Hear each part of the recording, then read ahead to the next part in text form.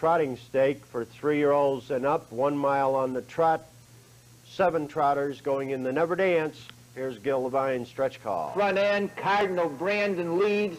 Lucy Co racing second. King Carl comes on third. Under urging Cardinal Branden trotting on the outside. King Carl racing second. In third position, that's Lucy Co, but it's Cardinal Branden.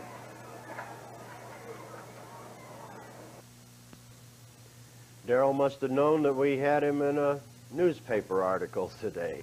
Trained by Kay Rutherford and driven by Daryl Busse, the winner number one, Cardinal Branden. Cardinal Branden trotted the mile in 159 and 3. King Carl was second and Lucy Co finished third.